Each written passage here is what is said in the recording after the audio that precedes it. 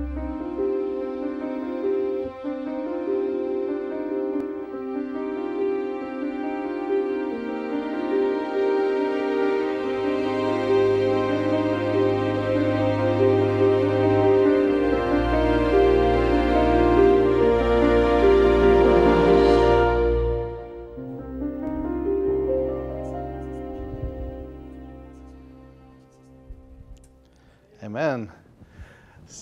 Coming to the end, very end. We survived. Um, we have three classes. In the first one, we're going to, to continue where we stopped in terms of mission. Then, second one, we're going to a different field, uh, the issue of church-led spirituality. And then the third class, we're going to have a summary of the entire module and recommendations. So we are going to put things into perspective and, and see what we actually learned. What was this all about? Um, and then if you have further questions regarding your assignments and regarding exam and everything, uh, this can come in the end then. Okay? So we define mission as a whole life participation in the movement of God towards the restoration of the defected world. It's a whole life participation in the movement of God.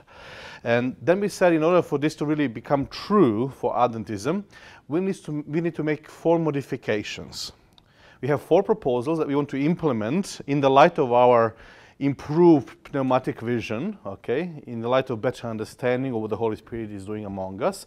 What happens if we try to explore the implications of this vision to the concrete life of church? Particularly three divisive issues we, we studied, the issue of church structure, ministry, and mission. So these are the three uh, four, four proposals that we are going to propose today. Yesterday we talked about the fact that we need to change the outlook, the whole way we perceive mission. This is not a mission of ours or a mission of God, sorry, it's mission for God done by the church, but a mission of God. So shift from the emphasis from the church as the main actor of mission to God. This is Missio Dei and the moment we start to think constantly, continually to open our vision and ask the question what God is doing okay, around us, what's, what's He's up to, what is He up to around us in the world where we live. Um, that's the moment where we're going to enhance the vision of mission. We're not going to just think locally in terms of my own initiative, but we'll think about how this fits the bigger picture. Okay, so the replacement of the ecclesiocentric outlook with the God-centered one, and then we studied a text where Jesus actually explained to us that technically he can do nothing by himself, but Father shows him what he's doing because he loves him, and then he can join Father and he can do great work. And this is the the um, schematic presentation that we had, how we become part of the work of God, who He who reveals to us things which often bring us to the crisis of faith and uh, which require, require from us to adjust our lifestyle in order to accommodate God's plans. And then once we obey God's instructions and His revelation to us, then we really experience Him working around us. Okay? So we are becoming part of His movement around us towards the restoration of this world. Now, today we came to the second proposal, which is revising our attitudes. So we need to adapt or adopt uh, of a, uh, adaptation of a more inclusive attitude towards others. Why is this necessary? Yesterday we had a group which was actually reading this part of our handout. Uh, how would you summarize this? Uh, what are the arguments, what are the thoughts that you had in relation to that? So changing the attitudes. If you can find it in your handout, so we can start from there. So this is point number two. Yes. Yes, it seems that this language about us and them, us as remnant and them as Babylon, if it's not qualified further, if it's left on its own, creates some certain kind of tension. We always define ourselves to be better than somebody else. You know, we have the truth, we know it, but Catholics don't know it, or somebody else, you know, about this particular truth. Uh, so this, there is al always a tendency of us trying to caricature our, so to say, enemy in order to boost our own identity and boost our, our own theological project. And the moment we don't critique certain things around us, the, that's the moment we kind of lose the sense, okay, so what's our mission then? If we, if, if we don't critique openly Catholics, what do we then do? I mean, uh, Ellen G. White was warning people. Of, um, she wrote uh, great, great Controversy, and she said this is primarily intended for the people who are traveling, who need to make sense of the world, not necessarily for sharing it to the outside world. You know, um, it clashes our current initiatives to really share it. Many people have benefited, but primarily its intention is actually to help God's people to see where they, how they fit in within the larger sphere, within, within, within the larger controversy that, that exists. But then she says, um, instead of critiquing people and trying to point towards the wrongs and everything what we are doing, rather preach the original, preach the truth. And those people who are not doing it, they will, their conscience will rebuke them. You, you're not here to be the judge, you know. So she was advising against this anti-Catholic sentiment, the way we should treat that. Even though we do believe that certain things are wrong in the whole system, um, we need to be careful not to approach it from this self-righteous attitude, uh, from the higher moral horse, and then try to uh, lecture them all what, what the truth is. You know, we present the best we know. In light of that vision, we can then see a little um, differences between us and others and how things could be improved. We can enter a meaningful dialogue. Yes? That's what I was going to that point because I have a lived experience myself, you know, after my conversion. Mm-hmm. In the past, he was giving me some only Seventh-day Adventist book, but mm-hmm. I did, you know, got some gift from different denominations, different books. Yes. But he said to me, don't read those because mm. you know, just stick to these ones. Yes. But at the end of the day, if I don't read them, how would I know? Yes, yes. How can I engage with conversation and yes. to grow more with yes. dialogue that you just mentioned here? Yes. And I think you know we have to put down our this kind of ideology. Yes. And go and and mingle and re- go with them, like salt, for example, mm-hmm. but still we don't lose our saltiness. Yes, exactly. Very good. And uh, remember when we talked about um, Second Vatican Council and a document called Lumen Gentium or Gentium, depending how you read this Latin phrase. Yes, uh, it says there. Um, previously, they were talking about extra ecclesia nulla salus, basically the, without outside the church there is no salvation and so church is very instrumental especially the church which has a roman pope as its head. And uh, so they're quite they emphasize this more exclusive attitudes towards others that other people need to ca- technically come and re- rejoin repent and rejoin the church because there is only one true church catholic church. Now in 1960 62 let's say and to 65 during this council church started to be open to reflection and of God and uh, God's truth and signs of sanctification outside the church. So they realize, okay, we are not the only ones who believe in Christ, who are honest Christians, who are faithful followers of Christ. So there are also others. So they coined the word, the Church of Christ subsists in Catholic Church. So by this, what I say, it subsists. It not only exists as Catholic Church, which, which kind of uh, limits the confines of this body of Christ of this particular denomination or church. Um, but this is, it subsists, meaning that the body of Christ is much larger. We have the followers of Christ all over the place. Uh, some of them can be anonymous Christians, as, as Karl Rahner would say. Anonymous Christians, meaning that even then themselves maybe they don't know that they're Christians. They maybe even didn't hear about Christ, but they're following God. They're following Holy Spirit. Everything that they know is true. They're following they're being faithful to the measure of revelation that they have. Okay, so they they also called you know anonymous Christians, and so there is this kind of acknowledgement that the body of Christ is much wider category. But in some real sense, this body of Christ does, is manifested in Catholic Church.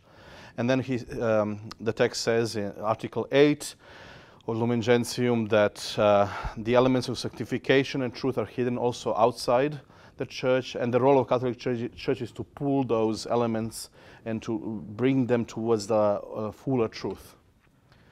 So this is this attempt to establish a better relationship to others, to admit that they also might be a, on the same journey, but then we can learn from each other. It's already a big step for Catholic Church.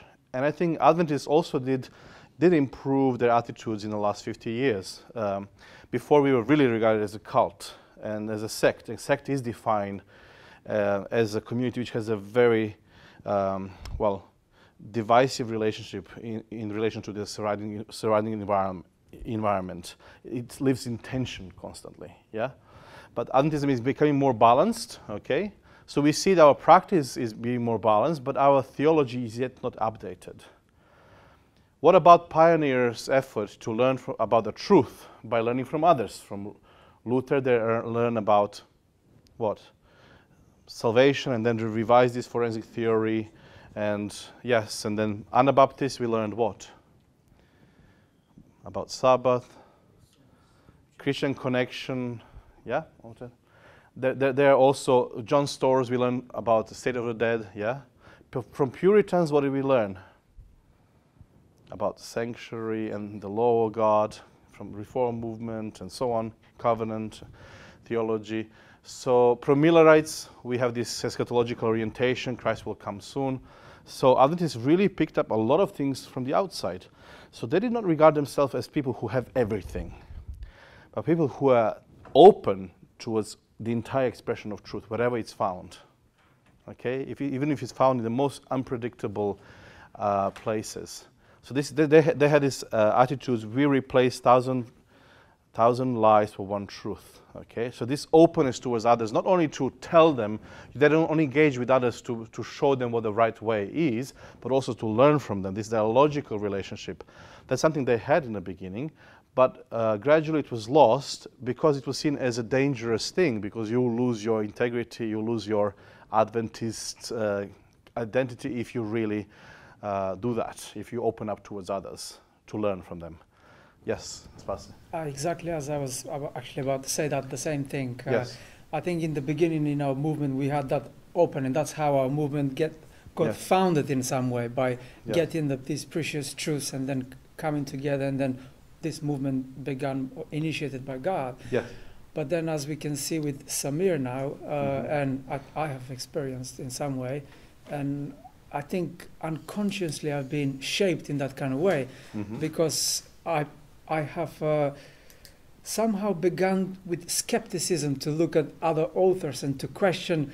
Uh, okay, are they Adventists If they're not Adventists then uh, shall I really read this and shall I learn from them? Mm-hmm. But at the same time, as we begin to learn through these mm-hmm. obviously two weeks, and and obviously uh, God is working somewhere else, and uh, we need to be open to his movement yes. around us. Yes. so we can continue that journey that, that we've started uh, being yes. open in quest of truth. Yes. To still be open to, to god's work. Yes. And you can do that without as, as samir says without losing your saltiness without losing your character. Um, so this more inclusive attitude is possible. Okay i have a just a small demonstration of how this worked in the early church because this is the secret how let's say, patristic fathers and, and apostles, how they were spreading gospel. They first analyzed what's, what's out there, what the Holy Spirit was up to, uh, before they even started to have a conversation with the people around. They recognize very good elements in them. They, they, drive towards good, you know. They recognize the work of the Holy Spirit, and then they try to link this to Christ. So they were talking about early uh, church fathers like Ignatius and the, and the others. They're talking about... Um, seeds of the truth which are hidden all over the place, everywhere in the world. Seed of truth, even given to Greeks and Romans and Jews and different people. And then um, God expects them to really take those uh, seeds of truth and put together and, uh, and reveal the fuller truth in Jesus Christ. Okay, so they, not, they did not really come there to critique necessarily, but to affirm what's good and then build from that point.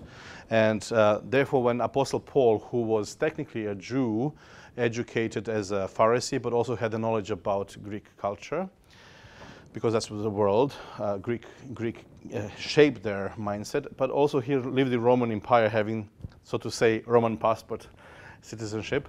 So here's a guy now functioning in three contexts. From Jews, he learned about moral categories and uh, what's good and what's bad. So the way you live, and this was the main strive from Jews, not necessarily uh, doctrines of God. You know, if you talk to Jews, they will, they're more concerned with how you behave, how you act. That's why it's even called monotheistic ethics. You know, and then um, the main thing is Torah for them, or meaning meaning light, light of moral discernment, and you start to go to education from six to ten, memorizing Bible in Bet Sefer, the, the, the house of the book. And then if you are successful, if you can memorize Torah, a lot of verses, if you should show the cap- capacity, they upgraded to, to this um, Bet Talmud from 11 to 15, technically um, where you are learning how to question. Uh, you are technically being asked something and then you answer with question, meaning that you are understood what you are asked and you are able to return and to give your own input. At this stage, Jesus was in a temple. You can remember that uh, scene, you know, showing his brilliance. And people who show his, their brilliance from 11 to 15 years old, they are then upgraded, upgraded to this kind of higher education, uh, Bet Midrash, which technically um, is concerned for 15 years you start to uh, study how do you live how do you imitate your teachers how do you apply torah or light how do you live light? So first you you memorize things about it then you think about it internalize it and then you live it. And those people on this rabbi level once they finish their doctorate they come to rabbi who was teaching them and not everybody could qualify to really finish all, all, those levels so they ended up doing manual work. But those people who are able to go higher schools they they came to rabbi and then rabbi in the end when he thought that they're ready then he technically announced them to be new rabbis that they are also uh, the ones living torah Okay, they're examples of how Torah should be lived. They're modeling themselves. So what happens usually in this process is that the person or student comes before the rabbi and then um, takes the dust from the ground next to, next to the feet of his rabbi and then put on his head, saying, "Okay, I will walk the same way. You know, I will live Torah. Um, so I'll follow your steps." And uh, and then he's being upgraded to a teacher status, to rabbi status, and, he, and then he schools everybody else. But the whole idea of the whole educational system in, in uh, Jewish context is technically the idea of light, moral discernment, discernment. How do we live Torah? But we can see on the other side, Greeks were not really interested in this practical domain so much. They were inter- interested in intellectual categories about knowledge. You know, Plato, Aristotle, and in next week, uh, in 10 days or whatever, we are going to Greece, you know, to Athens and to Corinth, and I'm going to have presentations there about this particular contribution of um, Greek mind to, the, to our civil, civilization. So, what do we get from Greeks? Um, and the main category for them is gnosis, gnosis or knowledge. And you achieve your full potential as human beings if you can think if you can think about your thinking or think about your thinking about thinking, you know. So you're going into this abstract world and um, possibly those people had to be more well off to, be, to afford this kind of lifestyle, to sit the whole afternoon and discuss philosophy and meaning, deep meaning of the universe. Um, and the more you can think in these abstract terms, the, the wiser you are. So they wanted to, get, to gain this enlightenment. They wanted to understand things. They wanted to gain knowledge. On the other side, Romans, they had, they had other drive. They gave us social categories or political categories. Everything was about status among them. So if you're a slave, what you long for is to be upgraded, to go to the higher class, which is technically a freedman. A slave, you don't own anything. You're a property. You're, you're not even regarded as human being, you know. Uh, but freedman, you have some basic rights, okay? Nobody will necessarily exploit you, but you can't really buy things and possess yet and can, cannot influence the laws in a country. So your rights are still very limited. So you want to be plebe- plebeians. Um, and those are people who are actually now uh, having a larger possession, employing other people, and uh, have some input in laws. But if you manage to be patrician, like a consul or a judge, judge in a society, senator, okay, those were actually the people creating law for others. They were involved in really, truly this uh, representative system. This uh, uh, they were voting and they were um, thinking about how where do we want to go as a country. They were engaged with politics. So they are people actually making a difference in society, and they have property. They are wealthy people, usually having their own great buildings and castles and so on.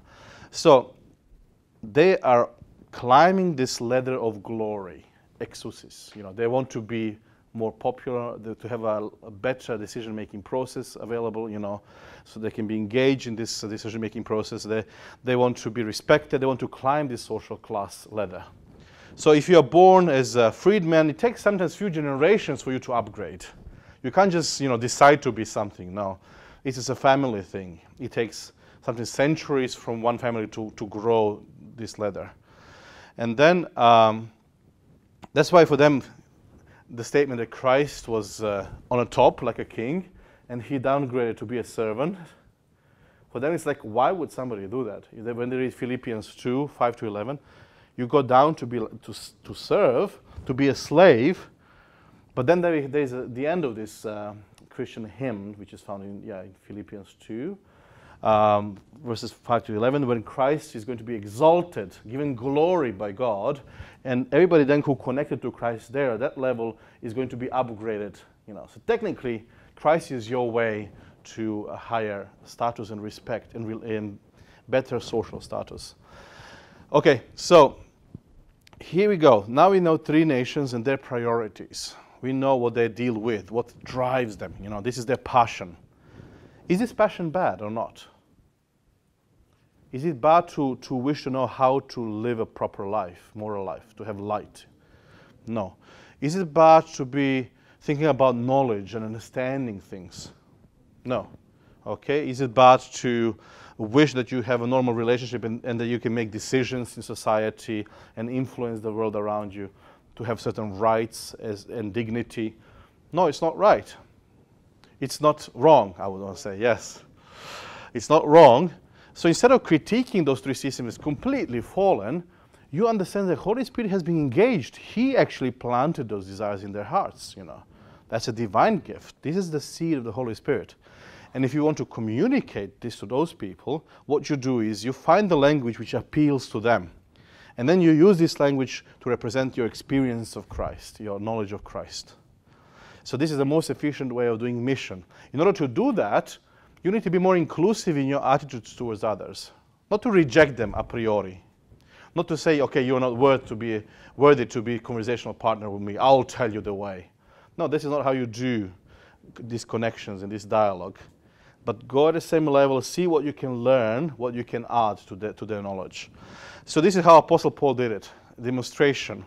2 Corinthians 4 6 says, we are talking about how Christ is being shared in this multicultural, interreligious context. So we, we have the brilliant text, um, uh, which is found in First, uh, Second Corinthians chapter, what was that? Chapter four, verse six. Uh, For it is the Lord who said, "Let light shine out of darkness." So the, you have the illusion of, illusion of creation. Okay, so the same God who says, "Let there be light," He also said, "Let there be light, but in your heart." Who has shone in our hearts to give the light of the knowledge of the glory of God in the face of Jesus Christ. What is he appealing to? Light, knowledge, glory. In one sentence, he managed to address them all, the entire population at the time. Okay? And imagine now uh, Jews who are searching how to get better light. The moment they hear the word light, you have their attention. And to claim that in the face of Jesus Christ, you find the ultimate revelation of God. You find the ultimate model how you should live Torah. He is the living Torah. He lives, you know, he shows you the light. So for Jews, the reference to light is very powerful. It affirms their project, but it enhances it, it advances it further. Now, looking for Romans, there is somebody giving you glory, giving you this status. you are now king, you're royal priesthood.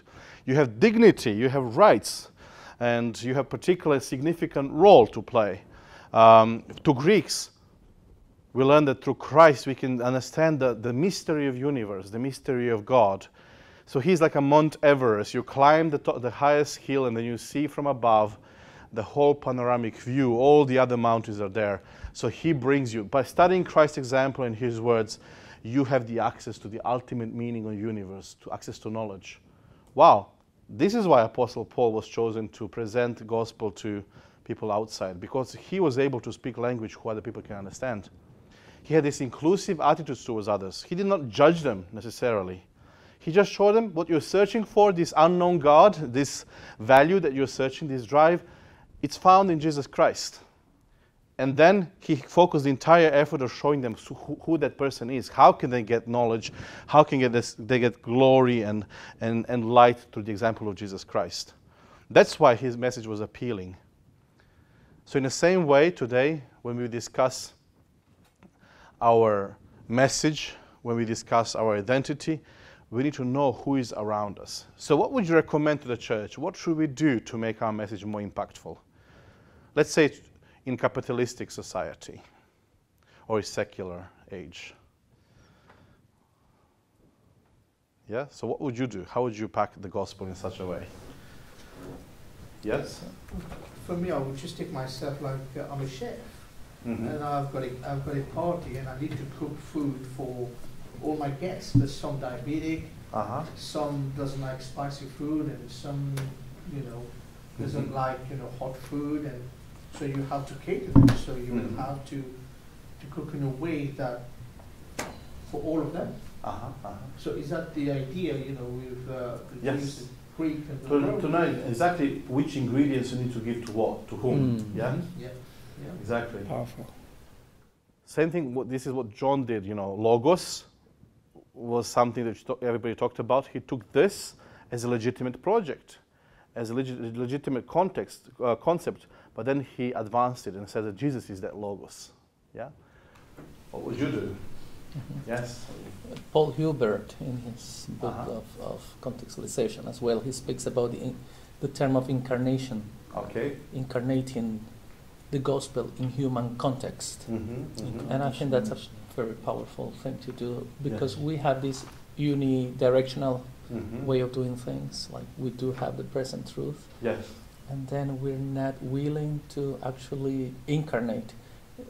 Ultimate example is Jesus in Mhm. this sense. You know, you, we're talking about Paul, but Jesus himself. That's what exactly what he did by coming to this human Yeah. lost race as Yes. well to reach us where we are Mm-hmm. and speaking our language, Yes. mingling with us.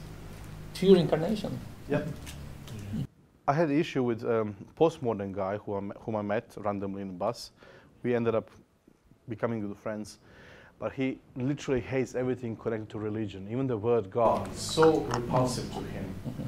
and there is reason why that why that is so. And um, so technically, anytime that I would like to mention the word God, you can see this reaction in his face.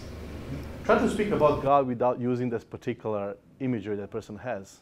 Then I realized, okay, maybe I can call him the, the heavenly father or i could maybe use some other terms or some kind of force in the universe you know start with that and then build up um, that and so say that you can actually have the communication with this uh, ruach with this pneuma and we of i was avoiding all the typical um, parlance of christianity all the typical terms that we use to describe salvation everything and this takes time this takes a lot of thinking so how do I speak about God to avoid all those minefields in his mind? Okay, how do I reach his mind? And then when I discovered that actually he's a guy who wants to see it practically that it works, then I said, okay, let's start with prayer then.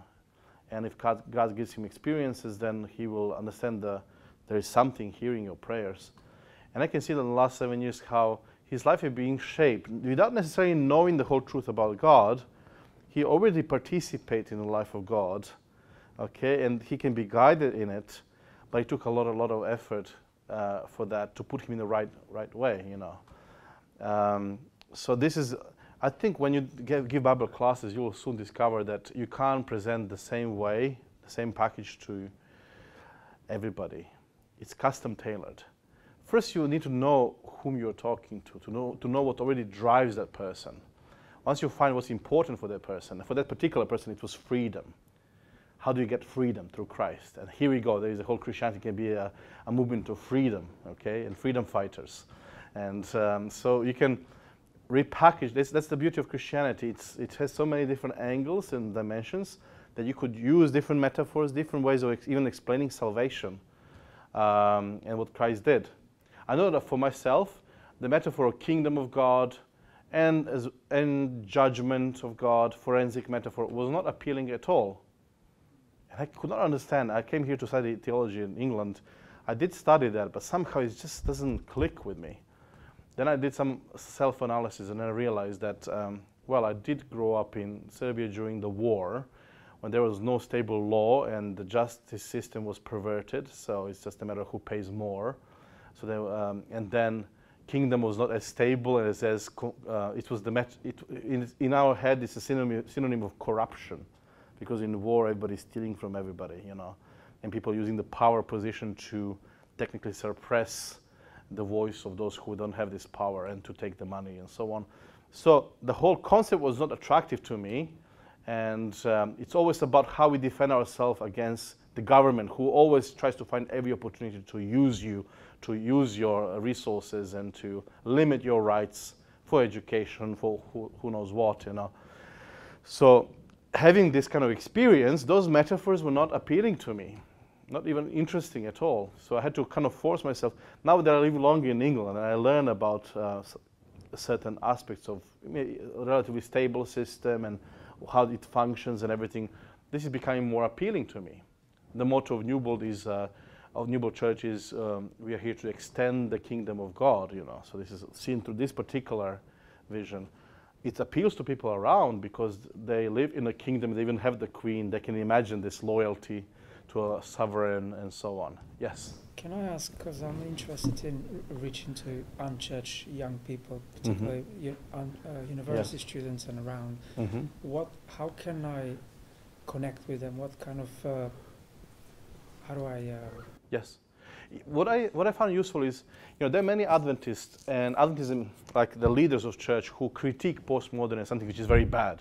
You know, everything is relative, everything is, but we forget that, that, that postmodernism brought also some good. Previously, we were emphasizing only knowledge and bra- brain and reason as the avenue to, to truth. While postmodern says, no, we are much more than our brain. There is intuition, there is uh, symbolism, there is aesthetics, there is, you know, God speaks to our emotions also. Why are we so skeptical about it? You know, emotions have to be. On time? Yes. Yes, and it's all about how you experience the space around you, and God's presence is being kind of mediated through those avenues too. So they are extending and being closer to biblical concepts of truth, which is Christ says, "I am the truth," or "Community is the truth," and you know, so it's it's much more organic and human way of, way of thinking. So we were slaves to certain enlightenment ideas, ideas of 20th century, but here we have the predisposition to understand the fullness of what the truth is. Of course, if we don't eliminate the rational element. Uh, so there is certain aspects of postmodernism in more constructive sphere, you know, that can be used actually to enhance our theology. The first wave of postmodernism was the constructionist wave, which is challenging everything that exists. But there, there are more reconstructionist um, views later, more balanced views. So there's a spectrum of opinions. So why not use those when you communicate truth? So when we talk about truth, it's not only, only about how you understand it, but also how you live it. So when you give Bible classes, you technically are starting to share your life, and then you are trying to think about how this improves your experience. How do you benefit from it? That's another thing, you know, important for consumerist mentality of today's world, you know. How do you benefit from this? You can still sell certain ideas through that particular mechanism, you know, emphasizing um, what's the significance from Sabbath, you know, of, of keeping Sabbath. The moment I switch my preaching from the topics such as Sabbath is the right day, not Sunday, this is the, my ultimate, you know, emphasis, in, uh, this was my emphasis. Two was the more emphasis on what's the point of Sabbath, what's the purpose of it, how does it enrich your life. So then we talk this about physical rest on Sabbath. Sabbath means saying no to capitalism no to workaholism, okay? That we don't live only for money. We are not only material beings, but we are also spiritual beings. We are something greater. Sabbath also gives you the orientation in space. Why? Because Sabbath reminds you your, about your origins, perfect origins, and you are you have dignified origins. You be, come from God, you know. And then also there, there is a whole vision of better future. So Sabbath reminds you on better past and better future, and therefore gives you the meaningful present. So there's, uh, there's a whole generation which struggles with the idea of meaninglessness, you know, purposelessness. Okay, so there is no purpose to my life. Now you have Sabbath, which reminds you regularly that you have the purpose, you have your good end, you know. Um, Sabbath, which reminds you that you're a relational being, that you have to stop, devote time to God and to other human beings. Ultimately, you're a relational being. So once I switch the language, you see, it starts to appeal to people around uh, because they can get benefit from. They can experience the benefit, not only learn the benefit, but experience. So switching the language from understanding the word to living the world, the word of God, is very appealing in this um, postmodern context. So I would say many different elements in society around us which we can use as a door to enter and to establish this communication.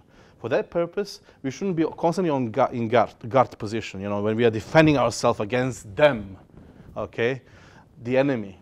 And then we should start open dialogue, not be afraid so much. And um, if you are rooted in Bible, if you have tr- truth, truth will shine even brighter when you're surrounded by the world which is uh, not as bright. Okay? So uh, if your truth is not solid truth, let it be replaced then. Challenge yourself. Okay? So you better know. You challenge if your if your faith cannot survive the challenge, then it means that it wasn't good faith. It wasn't solid faith. Okay? So maybe of course, I will advise differently people who are only starting to learn and people who are like more less mature in faith. You need to pro- provide them with guidance. So I would not necessarily speak this way to them. I would show them, okay, this is how you live, and this is the best you can offer them. You know, but you're master students. You're students who are going to think about where do we go as a church in the future. You're, you're going to be leaders, and I think the, encouraging the spirit of daring to, to communicate to others, actually to learn from others, is something which is positive. So by, this is what I mean by this. Change your attitudes, open yourself up to what God is doing in other nations, other religions, and then try to learn it, but not accept it without any filter. You see what I did with uh, communio ecclesiology? I evaluated different approaches and then I dismissed some of them because they were not biblical. So this is what we need to learn, the skill of critical analysis and comparing to our knowledge of Scripture. Now we go into the third proposal.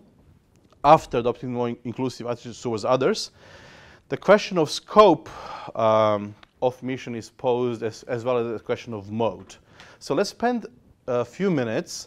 If the group here in the first line can read about the scope of ministry, and the group behind about the mode of ministry for a few minutes, then we are going to discuss it briefly. There are questions on the side. Maybe when you start discussing, it would be good to first read those questions.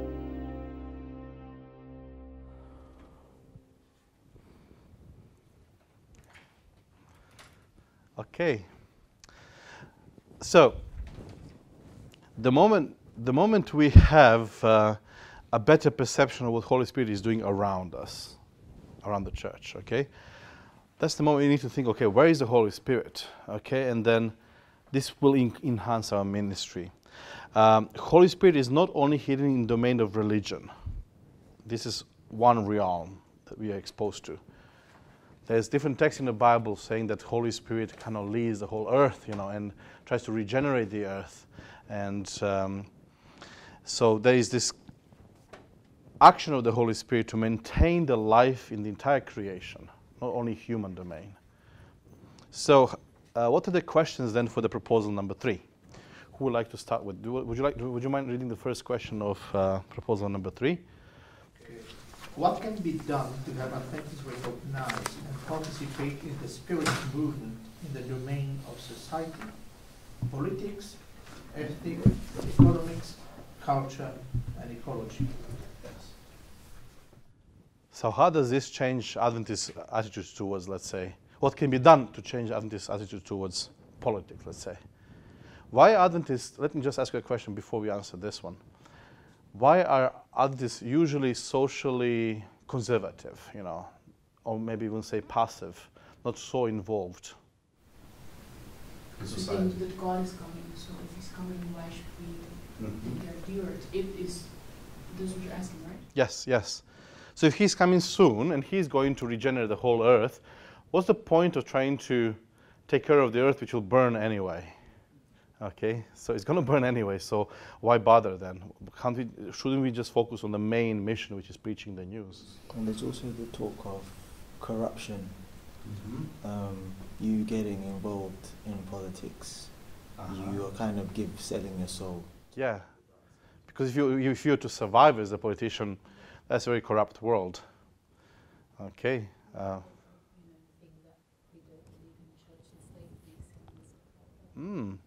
For some reason, we adopted this radical reform, reformers legacy that church is for God and the society is, you know, under a secular authority. So there is no connection between. But uh, this came as a very um, one-sided view because the kingdom of God is everywhere around. So everything belongs to God. So when early Christians, they, when they preach the message, Christ is our Lord, this is actually a politically subversive message, especially from the standpoint of Romans who were allowed to call the Lord uh, only Caesar. Caesar is the only Lord, the only one who, to whom you owe loyalty and who owns the kingdom technically. So to say that there is some other Caesars, there's some other king, some other Lord, is politically controversial. So Christianity came also as a political movement. It's the statement about our loyalties. And we see Christ as the Lord of everything, the whole planet, everything was happening around. Now, it will happen sometimes that um, those two, the worldly kingdom and Christ's values, are somehow coinciding. And we are then invited to respect the, the government and to be loyal to that. But what if there is clashing between those two? Then we have to choose the priority of the Lordship of Christ. Yeah. So ultimately, this is, our gospel has political implications. If you want it or not, if you admit it or not, it does have political implications. We can't be as invisible in the current world, as uninvolved, you know. We, we are here to actually be agency of good, to speak for, on behalf of those who cannot speak for themselves, to speak on behalf of marginalized people who are disprivileged, people who are poor and somewhere there in a corner of society and they, they don't have anybody to defend them. Because we believe in just kingdom, eh, eh, in the value of every human being, we cannot allow those. So we need to technically be involved in non-violent initiatives that try to pro propagate those positive values, as, as well as values protecting the earth, the goodness of creation. Because this is the value. There is a, uh, our nature has a very high goal and purpose, as is human being, to be a sanctuary of God. So if, as God's sanctuary, we have a responsibility towards it. This actually description and task given to Adam and Eve, avad and shamar, keep and protect, serve and protect this, uh, this sanctuary. So this is the man mandate for us also to protect the world of God because this is a sanctuary where God wants to dwell. So, okay, that's one another reason, separation between secular and spiritual realms yeah, Babylon thing, so this is all corrupted, and yeah. It's the Bible also says, I think you know, in James 4, verse 4, mm-hmm. you adulterous people, do, do you not know that friendship with the world mm-hmm. is enmity with God? Mm-hmm, mm-hmm. and therefore, whoever wishes to be a friend of the world make himself an enemy of God. Mm-hmm, mm-hmm. So they probably use these kind of uh, verses misread misapplication. Mm-hmm. You know, separate themselves from the world and. Yes. So there, there are technically a lot of different texts in the Bible which points or appear, uh, they appear to point in, in, in one direction. But then Jesus says, You live in the world, but you're not from the world. So you don't, you don't imitate the worldliness, not, you do not imitate the corruptive aspect of it. But you still live in the world. You are political agents also, as a political body, especially now when the community is more than 20 million. But you can't completely be uninterested in what's happening around you. Okay? I, I yeah. can give a quick, quick, example. For example, even Moses was a great leader. Mm-hmm. However, you know, the priest of Midian, which was Jethro, at mm-hmm. that time the father-in-law, had to come and counsel Moses mm-hmm. to give counsel to those Israelites. Yes. And how beautiful was that? Even God was using Yes. You know, through his spirit, somebody who's outside a yes. Midian, you know, priest at that time. Yes. And also you could see Joseph, for example. Yes. God used different nation to bring Joseph there. Yes. And even with the temple, why Islam or why temple at the moment, the, the place where the temple is, that belongs to Muslim now. That God has been using the Muslim for the sacrifice to stop.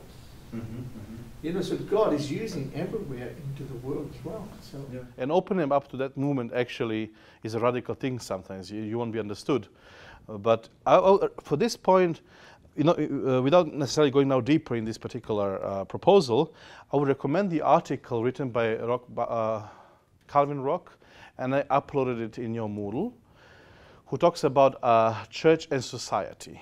and then this guy uh, who was asked by General Conference to write about our relationship to the world outside, he, he, analyzed different theological reasons. Why do we have this hesitance, you know, and different historical reasons and different, you know, to, to understand why do we think certain way. And, and um, then he gives his proposal how this could be improved. But my proposal is that what improves it, when, once you realize that God, God is involved in this society, it's his kingdom, it's the domain of his reign, this provides then the platform for your political action. Um, Holy Spirit is involved. He wants to propagate those values which are um, appreciating human beings and, and, bringing tolerance as well as respect of another human being and so on. So we as his agents also have to be part of that movement of Holy Spirit. So the work of Holy Spirit extra ecclesia, uh, outside of the church, is the foundation for us to reconsider our the theology and to see, okay, things are much more complex. And if we really want to fulfill our role on the earth while waiting for Christ to come, we do need to be partners with God. We need to, we need to participate in His work. And this leads us then to the mode of, uh, of ministry. Uh, currently, we are emphasizing proclamation as the primary mode. You preach the message. And here I, I, have a proposal, development of more communal and relational modes of outreach. What does that mean? What are the questions that you have there in um, uh, group number four? Is the church to be understood as God's temporary means slash instruments that accomplishes his purposes or as an end in itself? Do you understand the question? Is the church something which will pass? uh, is it just an instrument for God to achieve something, or is it end in itself? Once everything stops, church will remain. And that's the point of what God is doing, everything. So, what do you think is the right answer? Is the church an instrument of God or an end in itself? So let, us explore both, both, proposals. If church is the instrument, then church is used here, let's say, to preach to the world, so the world can then be restored. Once it's restored, there is no point of having a church. Yes, yeah, it has a particular function which will expire, let's say. Let's say preaching to the unconverted or, you know, mission. This seems to be obsolete when it comes uh, in the future. Uh, uh-huh. Oh, slightly different, slightly different this one. This one is okay Oh, yeah, you're right. Yes. Um, does God want church to be just temporarily used and He raised this community for a particular purpose? Once this purpose is achieved, then we don't need the church anymore. If you ask like that, I think it means in, in, uh, in its end because like, uh-huh. Um, otherwise, otherwise we can just become pop-up churches, you know, uh-huh. to get people to convert and give out uh-huh. things the whole time, then pop and leave again. Okay. I think mm-hmm. we need to be a place where people can come for a longer period and can find like friendships and, and family and stuff. Mm-hmm. So yeah, then then using it as an instrument, I don't think it's Okay. So in that sense, there is negative connotation to be, it should be an end in itself. But if you see it as a purpose, let's say, we, like Apostle John says, we preach this gospel to you so that you can have koinonia.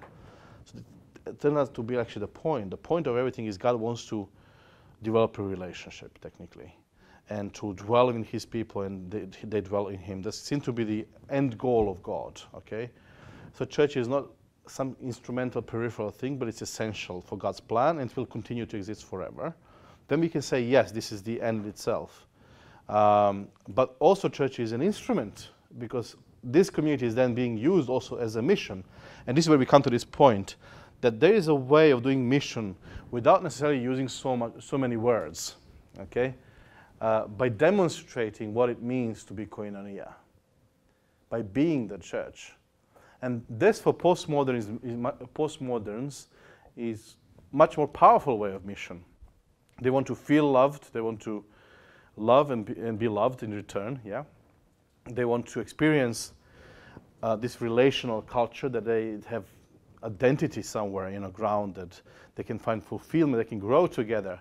That appeals to modern people postmodern people. So creating communities which are which have this kind of relational emphasis is already a mode of ministry, relational churches. and uh, creating friendships and deepening those friendships on, and being authentic, being open, is the mode of ministry also. Uh, not only what you say and what you do, but also who you are as community. You want to add something, Spase? You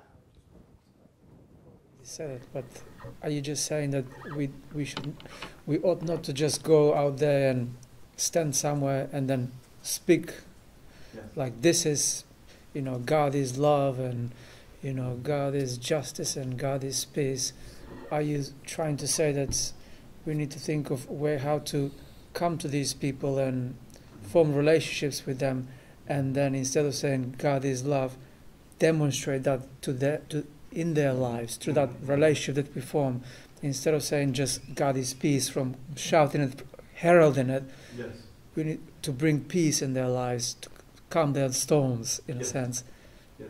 Mean, that works for everyone, doesn't it? If someone would be standing on the corner and is shouting something completely different than what I believe, it, it wouldn't necessarily speak to me whatsoever. Or just like when people give me like pamphlets, Yeah. I don't really look at pamphlets at all. So mm. I'm always thinking, if it doesn't work for yourself, why would you? Like, why would Yeah. that be the only way? Because it, it worked for some people, it really does. Yeah, yeah. But why would you use that as your only way of reaching people? Yeah, and, and this, this model is, is totally new paradigm shift, as Leo uses this word, because I find it quite amazing. Mm-hmm. Because this kind of thinking, it takes a whole life approach, whole life mm-hmm. participation. Yes. It, it's instead of just using cognitive ability to transmit Yes. an information, and I, I think it's a Look at what Jesus did. He technically lived with them. He ate with them. He did ministry with them. He was teaching. So you can see the shared life being the category of mini, mini, mini, people are changed through this, through sharing life, not necessarily just to, from hearing information. There's this com- community in Northampton, uh, not Adventist one, but you know, in 1960s and 70s, there was a big revival in the mid, in the middle of England, you know, and then um, those people experienced Holy Spirit and uh, they, they started to be very close. And people from other towns, they were coming to the chapel, Bugbrooke Chapel, you know. And uh, technically, this was a church where a young pastor came, and there were old ladies there, and church was kind of uh, on the verge of, of its extinction. So they started to pray for revolution, and things started to happen. Holy Spirit demonstrated His presence, and there were a lot of signs and miracles, and this attracted the attention of people who were hungry to experience God. Who were hungry to go beyond uh, just a rational, you know, explanation of religion. They wanted to actually have this unmediated, direct, direct experience of the Holy Spirit. So they were traveling from different towns together around this chapel. Okay, and I went to visit this chapel, and uh, so the story is fascinating technically. So what happened is uh, they could not fit in all those people in a small room. So they had these multiple services. They had trying to open the window so people outside were standing and watching. This was sudden interest, like hundreds and hundreds of people coming. They heard about it from different towns, so they wanted to see themselves what's happening. And then those people, they were reading Acts of Apostles, and they realized, okay, these Acts, they, they, they, they feel that they want to share the whole life. They're there anyway. They was coming there for long periods and having this friendship. So they said, okay, let's let, let's sell everything that we have. Let's sell everything and then live together, have a common purse. So now this is a very hard thing for those people who are um, well, uh, well off because they will say that it costs them much more than people who don't have, you know. Um, but they still did it. It's a risk. What happens later, you know, once you sell it, if it don't work out, if they pull out from this community, you are left on the street. But they, without any reservations, they enter that. And um, so now they realize, okay, we need to make money somehow. So we need to do it together. So they bought these houses that they lived in, in communities. Around 600 of them live today there in England. So it's not only Amishes in America, but this community is very contemporary, very open to the world, but they live together and demonstrate these relationships.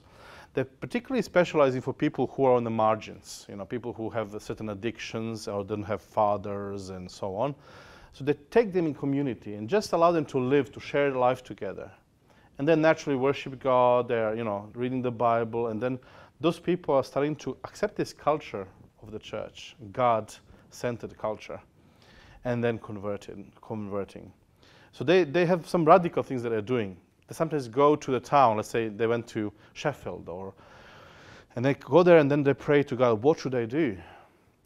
And then they have this prophetic voice saying, okay, go and play basketball. So they, go and play basketball. And then the, the occasion comes uh, that they, they're interacting with those people around and they people asking about God and they could witness and then they convert people and they create these Jesus uh, centers of influence. That's how they call it. And um, or they go to London and they, they, were, they, they went to the gay club in Soho Square. Uh, and then they offered to uh, wash their, their feet like what Jesus said, and to offer Holy Communion in gay club. Ooh, this was a very radical thing. You know, many Christians even now would excuse that. Um, but people who were in the bar, they were so shocked that those holy people who believe in Christ actually want to mingle with them, and to be, you know, to, to come there and to wash their legs as a sign of hum- humility, and that they were so impressed that they wanted to know more about this community and then they inquired more about what they believe and then they want to join the community. So they're opening centers like crazy everywhere around. And i happened to meet, meet those people i think providentially also. I went to i thought this is a kind of academic conference. It says there koinonia or something. It was like in the title. So i was studying this and i said okay let me just see what's happening there. I went there and then i realized their church meeting okay? We became friends and and we are often in touch now. I learned so much about this way of sharing gospel so what they do is they're not obsessed with trying to sound correct, you know, and, and just placing the doctrine speaking at you. They just invite you to share life with them. This seemed to be working. This seems to be working in 21st century. What they did actually, they organized their own ministries. They call it kingdom businesses. Let's say healthy food, good foods, the, the, the brand, it comes from them. Uh, they offer it. They, they, they're cultivating apples there or having their farms or being their uh, carpenters, and so on. So, uh, what's happening is that they are sharing the entire life together. It's a whole life participation in community, and then this becomes the mode of ministry, not only your words. So, I think this, this is where we can learn as Adventists. We are not only a community which shares the same beliefs, we come to the church, we discuss our faith, but we share the entire life. Once we do that, people will be drawn to that intuitively they will feel that this is something they're created for, to be persons in relation. This is what I mean, what I mean that we need to enhance the mode of ministry, to, to have this relational aspect. Um, and in this way, we are opening up our building, cons- consisting of all those doctrines and messages, by extending the scope of our ministry, by changing the models of ministry, mode of ministry, mode of delivery, attitudes towards others, and perspective of ministry. So we are doing that, and in this way, I believe Adventism achieves its goal, its mission in the world. We are opening the windows. If you don't do that, our, our air is going to be smelly. It's going to, we're going to breathe in each other's air. But if you learn how to do those four proposals in practice, if you think about implications of it, you will see how this is actually opening us towards others and making our witness efficient. In this way, we can supplement the vision of remnant, including all those other avenues Yes, Samir? Why did you put attitude in uh, orthodoxy? Because you Oh, okay, okay. At the moment, I just place them in, in, the place of windows and doors. You might find uh, different attitudes up there. Yeah, that's what I was thinking. It was a bit confusing. Yeah, so, so uh, let's say this doesn't make um, need to be in particular order.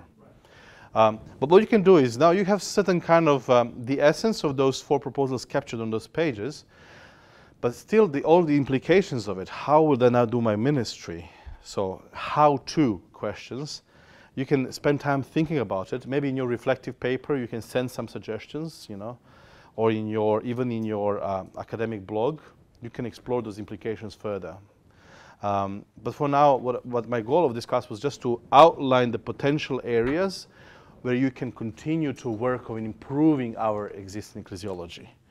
And if you, if you, at least you know, uh, maybe you won't be able to necessarily use immediately everything, but at least you know what are the areas, crit- what critical areas are there, and your practice will actually force you to come in this particular domain also to see, okay, we need to change something, otherwise people are not coming to the church, our message is not being heard, we are not progressing in our knowledge of truth, things are not happening. Why? Because we closed, we shut all the doors and windows around us. Okay? So, this is my invitation uh, that understanding the work of the Holy Spirit and mission in this particular sense, that this is a whole life participation in the mission of God who is trying to restore this defected world. This whole life participation in the mission of God, in the mission of Holy Spirit and Christ, leads us towards those four proposals. And this is how I imagine the emerging perspectives in our vision of ministry. This is those four areas we can discuss. Okay, you have break for 10 minutes, and then after we, we are starting with a class on churchless spirituality. And then we have the after that class we will have uh, a conclusion and recommendations for further study.